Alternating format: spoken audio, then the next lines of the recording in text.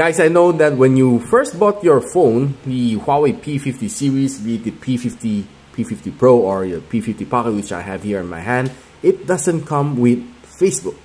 It's probably one of the most popular social media apps that we all use and it's not present here. It's a bit frustrating, but today I'll be walking you through how to install it easily on this phone. So how about let's start?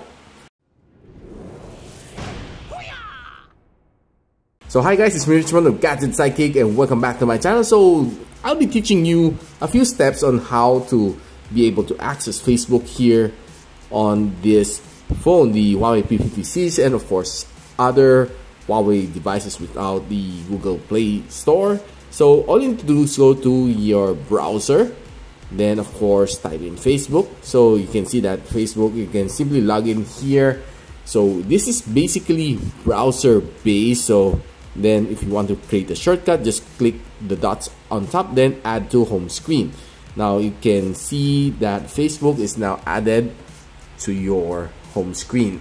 Okay, so it's as easy as that. And another one is using GSpace. So check the link on my description box on how to install GSpace. And the next thing we do is we go inside GSpace.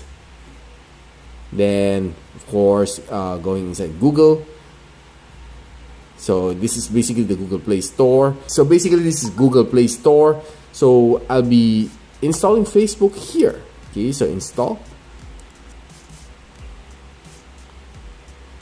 So okay, it's already installed. So just simply go out to GSpace. Then you can see the Facebook icon over here, which you can always access as long as you go inside the space. Okay, so click Google. Uh, okay.